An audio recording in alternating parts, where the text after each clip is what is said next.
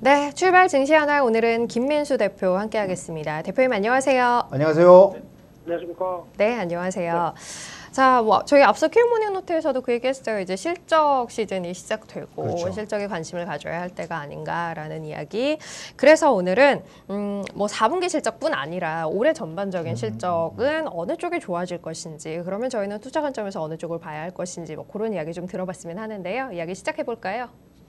네, 어, 4분기 실적 시즌이 이제 들어와서 미국도 그렇고 우리나라도 그렇고 이제 계속 어, 시장에 영향을 줄 텐데 아마 지금 제가 보기에는 4분기 실적은 별로 그렇게 크게 시장이 신경을 안 쓸 것 같습니다. 워낙 어, 생각보다 그렇게 크게 좋지는 않을 것이다라는 관점들이 나오면서 그래도 추세가 어, 어떤 상반기 대비해서 작년 하반기가 좋아지는 그림이냐라는 정도로만 신경 쓸 것 같고요. 오히려 초점은 올해에 대한 실적. 그러면 어, 전반적으로 올해 실적이 좋을 걸로 예상하는데 그런 upside가 얼만큼 더 나올 것이냐 이 부분에 대해서 관심을 많이 가질 것 같고요. 그러면 이제 이와 관련돼서 이제 여러 가지 좀 지표들을 잠깐 보면서 그러면 어느 정도 변화가 나올 수- 것인가에 대한 어떤 트렌드를 확인하게 되면요. 아, 가장 먼저 이 OECD 경기 선행 지수를 아, 우리나라 주가는 OECD 경기 선행 지수와 거의 밀접하게 움직이는 경우들이 좀 크죠. 그래서 이 부분 같은 경우도 확인해 보게 되면 의외로 어, 저희가 대한민국이 1등입니다. 어, 어떤 OECD 국가 중에서도 평균보다도 높고 그리고 요즘 최근에 잘 나간다고 하는 중국보다도 한 단계 높은 상황 쪽에서 가장 선두에 위치하고 있다라고 보게 되면 어, 자부심을 가져야 되겠죠. 예, 그와 함께 주식도 어, 주식 시장도 이를 걸맞추면서 좀 올라오고 게다가 한국 시장이 별로 안 비싸네 이런 상황도 나오다 보니까 어떤 이런 총합적인 흐름들이 여기서도 확인이 된다라고 봐야 될 것 같고요. 그러면 이제 그 특히 좀 늦은 국가들을 보게 되면 이번에 코로나19 관련된 쪽을 좀 대처를 잘 못했다. 어, 그리고 아직까지 어, 정점인지 아닌지 모를 정도로 변화가 나오는 쪽 흐름들은 오히려 좀 더 늦었죠. 이런 쪽이 변화가 나오기 시작했을 때 어, 한국의 입지나 여러 가지 동향들은 조금 더 긍정적일 수 있겠다라는 관점들이 지금 어, 보여지는 것 같고요. 그럼 또 하나 두 번째로 어, 국내기업 실적과 연관될 수 있는 대표적인 섹터가 한국의 수출이고요. 그와 함께 중국의 차이신 제조업 음. 어, 지표, 어, 차이신은 또 어, 실질적인 여러 가지 제조업 지표를 말해줄 수 있는 상황들이고 또 미국의 소매 판매, 미국은 또 소비 국가입니다.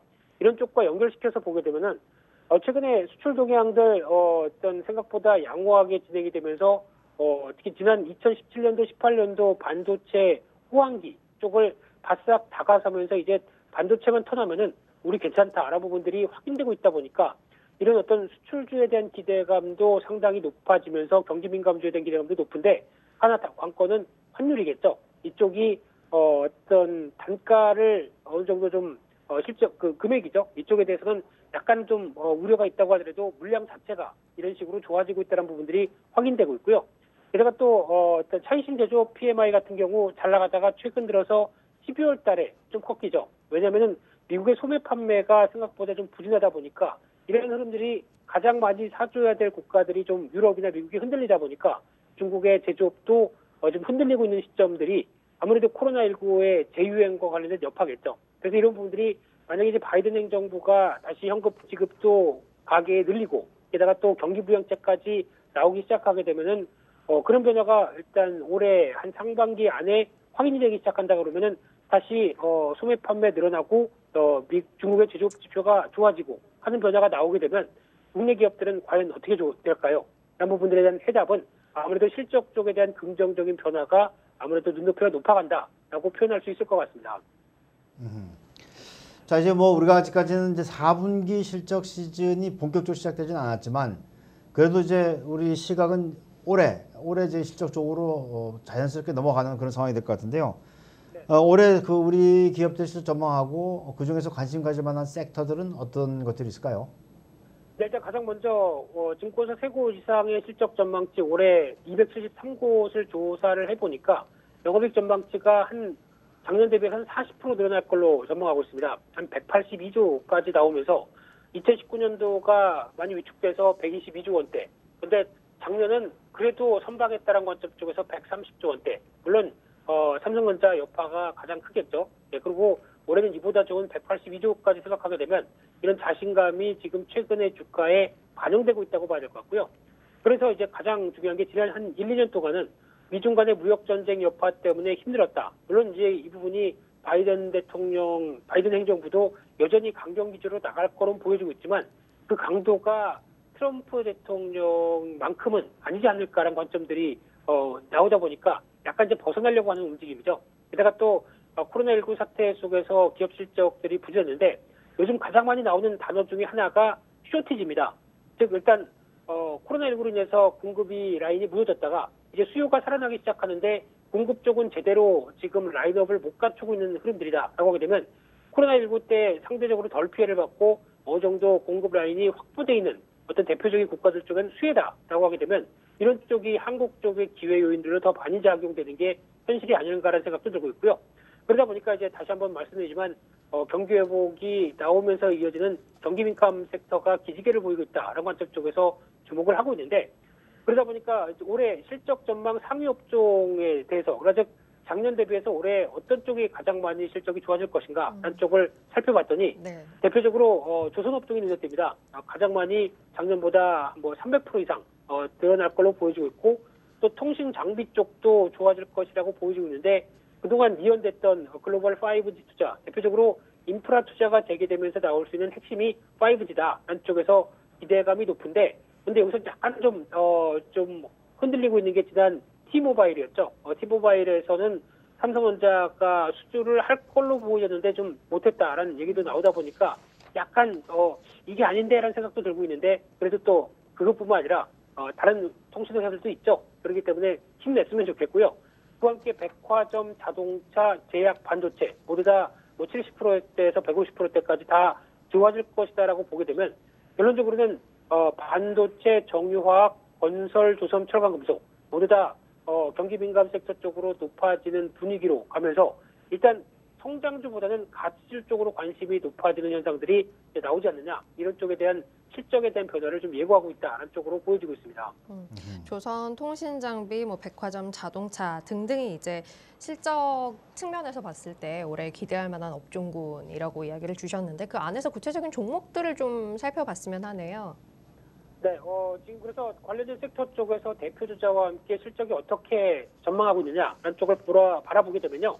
일단 가장 먼저 조선 쪽은 어, 올해도 작년 대비해서 좋아질 걸로 보여지는 한국조선해양을 어, 보게 됐을 때 어, 주가도 그렇게 비싸지는 않은데 하지만 이제 중요한 게 이제 신조선가 지수도 따라 올라와야 되겠죠. 게다가 어, 원재 원자재 가격 대표적으로 철강이라든가 후판 가격이 인상이 됐는데 이를 충분히 어, 반영할 정도로 신조선가도 올라줄 수 있느냐 이 부분이 관건이죠. 그래서 확인만 되게 되면은 어, 움직일 수 있겠다라는 생각이지만 아직은 조금 좀 덜한 것 같습니다. 게다가 또 통신 장비 쪽은 어, 더도 말고 덜도 말고 어, 눈높이는 높아간다고 하더라도 일단 중요한 건 수주가 돼야 되겠죠. 그러다 보니까 수주를 확인하는 게 더 중요하지 않을까 싶기 때문에 기대감만으로 오는 거는 벌써 어, 실적 좋아진다 아니다 좋아진다 아니다 벌써 양치기 소년 입장을 세 번이나 당했기 때문에 일단 수주를 보고 대응하는 게 더 중요할 것 같고요. 그런 쪽에서 백화점도 좋아질 것 같습니다. 어, 그런 쪽 분위기와 함께 자동차도 당연히 어, 좋아지는 분위기 쪽에서 일단 해외 판매 쪽에 중국 판매가 더 중요할 것 같고요. 판매적인 부분만 보게 되면 어, 중국이 턴을 해야 어, 좋아지는 미국과 함께 어, 어떤 보통 어, 어떤 중국이 거의 글로벌 판매 한 30%를 담당하다 보니까 이쪽에 대한 변화가 나와야 실적도 끌 것 같고요. 또 친환경차 성과도 봐야 되겠죠. 그와 함께 어, 제약주 쪽의 한미약품 같은 경우도 좋아질 거로 보여지고 있는데 바이오주에 대한 요즘 모멘텀은 좀 약화되어 있는 쪽에서 너무 기대감은 높지 않고요. 또 반도체 쪽은 어, 또 하나 지켜봐야 될 부분들이 물론 실적의 기대감은 높은데 일단 지금 최근에 나오는 메모리 반도체 가격에 대해서 상반기 쪽에서 강한 변화가 나오느냐. 근데 지금 최근에 나오는 1월 달의 동향을 보게 되면 중국 쪽에서 현물 가격 같은 경우가 가파르게 올라가고 있다고 합니다. 그만큼 어, 중국에 대한 어, 공급 쪽에 대한 변화가 이런 식으로 나온다라고 하게 되면 1월 달 말에 발표되는 고정거래 가격도 벌써부터 뛰는 게 아니냐라는 전망이 나오다 보니까 기대감이 살짝 높아지고 있죠. 게다가 또 건설 쪽 같은 경우는 현대건설도 실적이 좋아질 걸로 보여지고 있는데 어, 국내 쪽은 거의 이제 어, 턴한 것 같습니다. 어, 대표적으로 공급 확대 쪽으로 나오다 보니까 가장 중요한 건 해외 쪽이라고 봐야 될 것 같고요. 해외 수주도 코로나19 이후- 이후로 이제 지연된 어떤 플랜트나 여러 가지 해외 쪽의 모멘텀들이 확보된다. 그러면은 날개를 달 것 같습니다. 계속 관심 있게 봐야 될 것 같고요. 또 철강 쪽도 중요한 게 어, 포스코 같은 경우나 대표적으로 본다고 하더라도 실적은 좋아지는데 일단 어, 철광석이나 여러 가지 가격들이 인상된 부분만큼 충분히 어, 이 비용을 전가할 정도로 가격 인상이 이끌어지느냐라는 여부인데 어, 최근 들어서 속속히 어, 가격 인상을 하고 있다라고 하게 되면 좋아질 것 같습니다. 네. 네. 자, 그러면 어, 뭐 특별히 더 관심을 가지고 봐야 되는 섹터라든지 기업은 어, 어떻게 정리하면 되- 될까요? 네, 그래서 일단 어, 관심 과접을 이제 대표적인 이제 이런 섹터들 같은 경우 주가가 좀 올라왔습니다. 음. 가장 좋은 거는 다 좋은데 어, 주가가 올라오다 보니까 여기서 덜컥 사기보다는 추세 중심으로 접근하는 게 맞겠다는 관점이고 또 하나는 어, 상대적으로 중소형주가 덜 올랐기 때문에 이쪽을 바라보자라고 하는 게 어, 중요한 투자 아이디어로 보여지고 있고요.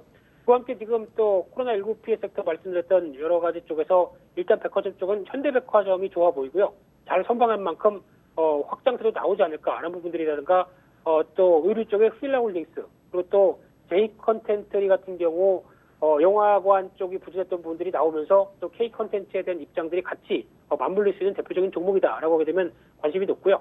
어, 철강 쪽에서는 어, 대표적으로 현대제철, 대한제각은 어제 어, 과징금이 담합에 따른 과징금이 부과돼서 약간 좀 흔들릴 것 같은데 오히려 또 경영 청- 청구나 이런 쪽으로 나가게 되면은 또 나아질 수 있지 않을까라는 생각도 살짝 들기 때문에 어, 추가적으로 흔들리면 관심을 계속 가져봐야 될 것 같고요. 건설 건자재 쪽은 뭐 대우건설, 뭐 아시아시멘트 이런 어떤 건자재 쪽도 최근에 어, 떤 움직임이 빠르게 나오고 있죠. 이런 쪽도 관심 가져주셨으면 좋겠고요. 반도체 쪽에서는 일단 어, 심텍 같은 경우는 일단 DDR5 이제 전환이 좀 가속화될 것 같습니다.